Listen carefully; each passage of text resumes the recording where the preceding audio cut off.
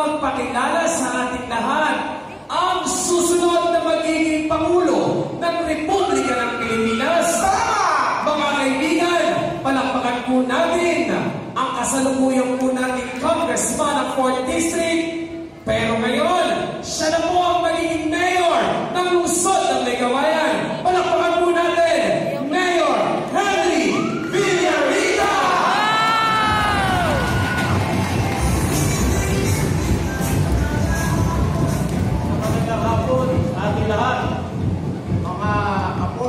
Ka-4th District, lalong-lalo na po sa ating ah, mga kalunsod ng may kawayan. Isang magandang hapon po sa ating lahat. Ah, ang protocol po sa pagpapakilala sa isang presidente ay napakaiksi po. Sasabihin lang po natin ang kanyang pangalan. Ganun lang po kaiksi ang, ah, ang protocol sa pagpapakilala sa ating presidente. So ganun po ang gagawin natin. Ang susunod na presidente ng ating bansa, Ferdinand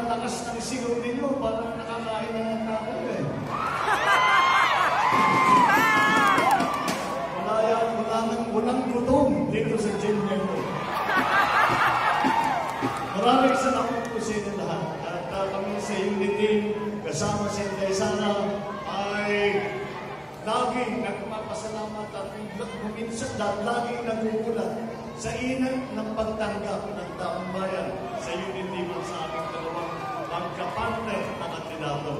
At eh, kami naman po ay, uh, alam niyo po, narinig niyo po ang uh,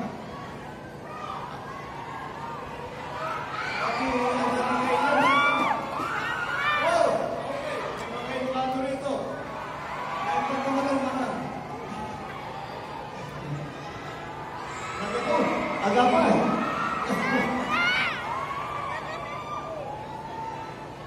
Kompleto, kompleto talaga na rin na kayo sa may kawayan. At uh, Talagang narinig niyo naman po ang ating mga senador na kandidato. Naman po ang uh, kaunting mensahe ni Mayor Enday Sara.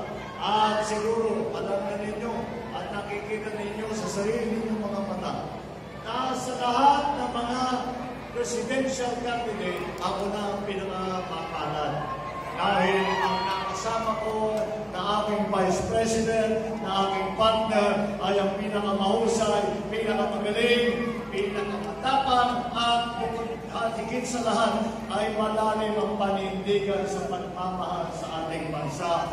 Mayor Inday Sara Duterte ang susunod nating Vice President.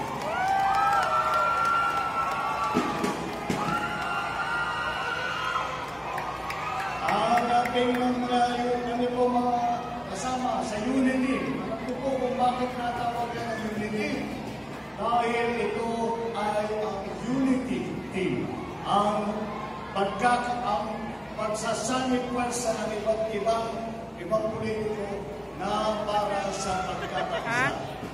Kami po ay po eh, aming eh. Lagi, iniipag-ikot namin sa iba't ibang lugar sa Pilipinas. Ay ngayon kay namin sinisigaw ang aming adhikari ng pagkakaisa. At ito po ay dahil ay ito naman ang ay ang unang hakbang para tayo ay makabalik mula sa krisis na dinadaanan natin ang krisis ng pandemya at ang krisis ng ekonomiya. Para po tayo naman ay makita natin mas gumanda ang, ang buhay ng bawat Pilipino, mas dumami ang trabaho at may, may, may bibigay tayo na pag-asa na ang kinabukasan ay gaganda. Ngunit po, alam naman po natin, narinig na po, ang dami natin gagawin. Aayusin po natin, tutulungan po natin ang ating mga maliliit na negosyante. Dahil magkakaroon ulit ng trabaho, magkakaroon ulit ng economic activity, yan ang kailangan natin mga Yes! Yes! Pangalawa, yung ating agrikultura. Nung tinamaan tayo ng pandemya, nahalata natin, nakita natin, na kulang ang pagkain dito sa Pilipinas. Kaya kailangan natin ayusin ang sektor ng agrikultura para sapat ang ating pagkain at dadami ulit ang trabaho sa sektor ng agrikultura. Ayusin po natin ang ating pag, yung ating industriya ng turismo. Dahil ito sa, sa aking pananaw, isa sa pinakamabilis na paraan na magkaroon ng trabaho ulit.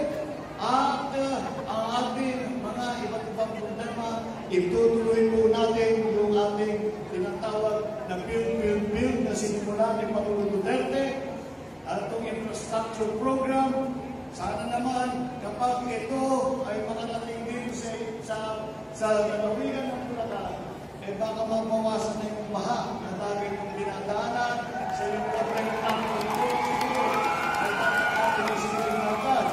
Kailangan natin ayusin ang, ang, ang, ang energy sector dahil napakataas naman ng napakataas naman ng kuryente masyado sa mahal.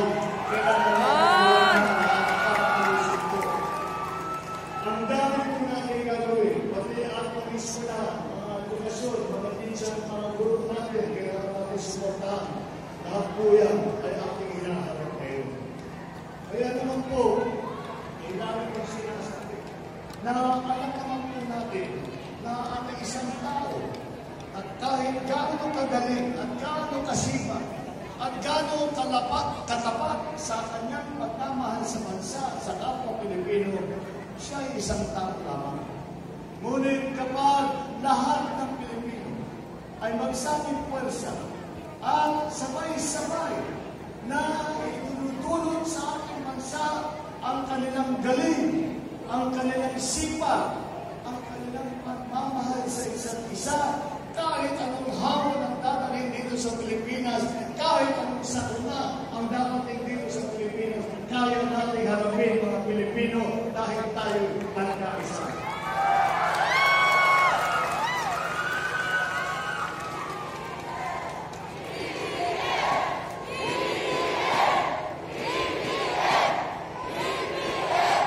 Kapag po pinag-aralan natin ang kasaysayan, at maraming mga kasaysayan ang pangyayari dito sa lalawigan ng Bulacan sa kasaysayan ng Pilipinas, at pag, pag pinag-aralan po natin yan, ay dapat naman natin nakuna na lahat po ng kahirapan ay tayo ay nakaraos dahil tayo ay nagkaisa. At alam naman po natin, ang isang natutunan ng bawat isa dito sa pandemya at sa kahirapan ng ekonomiya ay lahat ng Pilipino ay nangangailangan, nangangailangan ng tulong. Kahit ang pinakasikat hanggang sa pinakapagkalaniwan na mamamayan.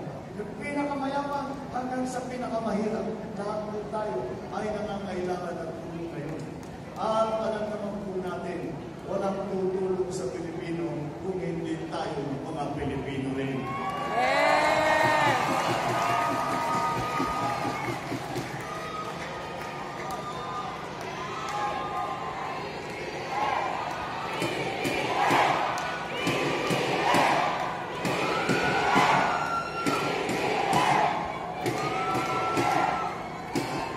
Marami pong, marami pong kailangan gawin.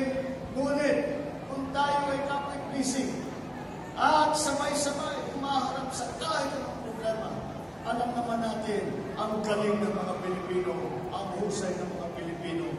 kaya po natin harapin kahit na ano. Yes! Kaya po napaka, napaka, naman napakagandang halimbawa ang pagsanib pwersa at ang timba, nagsanib nagsanib pwersa ng isang Marcos at ang isang Duterte. Dahil po, kung ang isa na galing, kagaya ko na galing sa Norte, at ang isa na galing sa Davao, sa Mindanao, na magkabilang dako ng Pilipinas ay kayang magsama, ay sana naman kaya natin ipagkaisa ang isang bayan.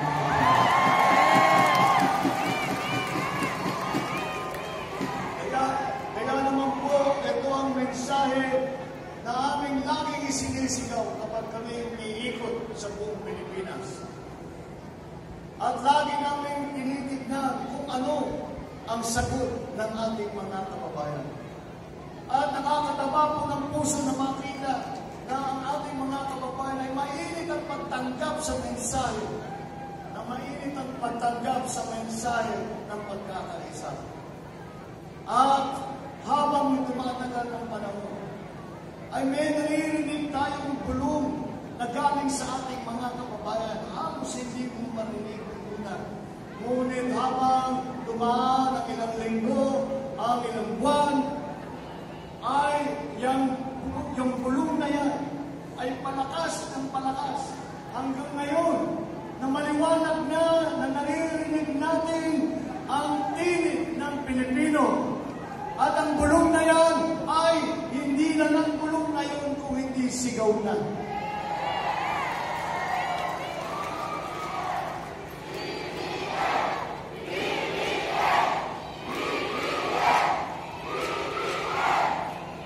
At ang sigaw ng Pilipino ay gawin na natin itong pagkakaisa at itong adhikain na dala ng unity ay isang kilusan na kilusan ng pagkakaisa. At ako bilang Pilipino, bilang mamamayang Pilipino na nagmamahal sa kanyang kapwa, ay kasama ako dyan sa pag-uunlad ng Pilipinas. Kasama ako dyan para sa pagpaganda ng buhay ng bawat Pilipino. Kasama ako sa kilusan ng pagkakaisa.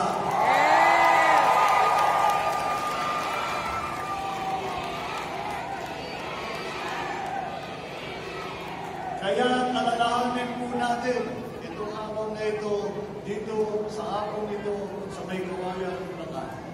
Alalahanin po natin na ngayon sa hapon ito ay sinimulan natin dito ang kilusan ng pagkakaisa. At wag po na, wag tayo po hihinto. Wag natin titikilan ang ating tuloy-tuloy ng sakripisyo at trabaho upang ipagkaisa ang ating mga kababayan. At kung tayo, kung tayo ay magagawa natin yun, makikita po natin, gaganda po ang Pilipinas. Gaganda po ang buhay ng ating mga kababayan. Gaganda po ang kabuhayan ng ating mga pamilya, ang ating mga anak. At kapag nangyari po, tayo po ay maaaring muling humarap sa buong mundo. At magmamalaki po tayo sasabihin ninyo, tignan ninyo kami mga Pilipino. Kahit ano pa na pangyayari ang dumating dito sa amin, kami nakaraos. At hindi lang kami nakaraos, ngunit sumikat pa. Dahil kami ay nagkaisa. Lobat ka na? At isisigaw namin muli sa lahat ng makikinig sa buong mundo. Ako ay Pilipino. Taas noo dahil kanino. Yes!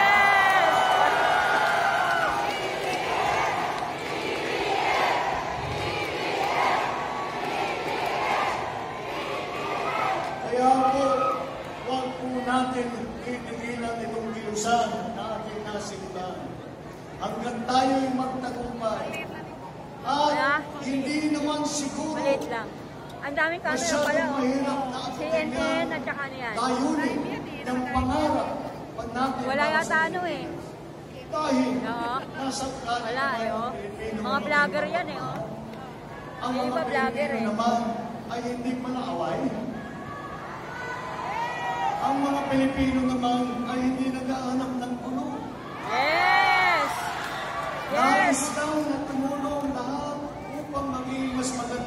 buhay nating lahat at ating kapwa at mas magandahin ang Pilipinas. Nasa ugali, nasa kultura ng Pilipino. Kapag nakita ang kanyang kapwa ng hihirap, ay siya'y tu- siya'y tutulungan. Kapag may nakita siyang kapwa Pilipino na natapa, ay siya ay bibigay niya ang kanyang kamay upang tumulong at magbigay ng kahit kaunting ginhawa sa kanyang kababayan. Yan po ang dapat nating isabuhay. Yan po ang ating pinag-usapan dito sa kilusan ng pagkakaisa. At dapat po balik natin yung pag-iisip ng tunay na Pilipino na tayo po ay sabay-sabay humaharap sa problema. Na tayo po ay sabay-sabay nagtutulungan sa ating mga. At huwag ibalik natin sa buhay natin yung pagkakaisa, hindi lamang, hindi lamang sa larangan ng politika, kung hindi pati sa lahat ng ating lipunan. At mararamdaman po natin kapag tayo po ay masasabi natin na dumating na ang araw na ipinagkaisa natin ang sambayan ng Pilipino, sama-sama po tayo wawangon muli. Maraming Yes!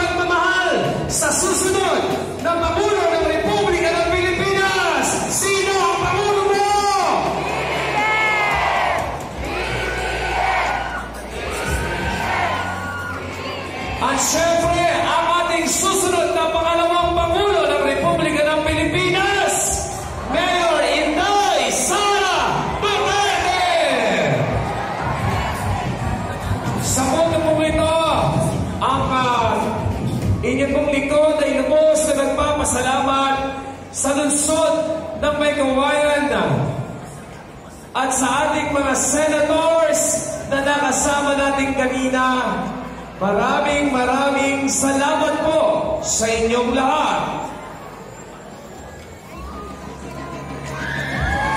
Maraming salamat din po sa Team Villarica sa pangunguna ni Congresswoman Lina Bel Ru Villarica, City Mayor Attorney Henry Villarica, Vice Mayor Chochi Gilago, at sa lahat ng Naanyahan ko po ang lahat ng mga mayors na pumunta dito sa entablado upang sa ating ah, sa pagpapakuha ng larawan. Ang mga mayors ay pumunta po dito sa entablado para sa ating photo op.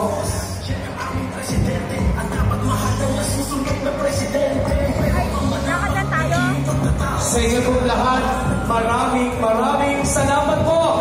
At ito po ang inyong guro ng palatuntunan, JP Gaisino from Bayan ng San Rafael at Miss Olga from Bayan ng Bukawi. Sa inyo pong lahat,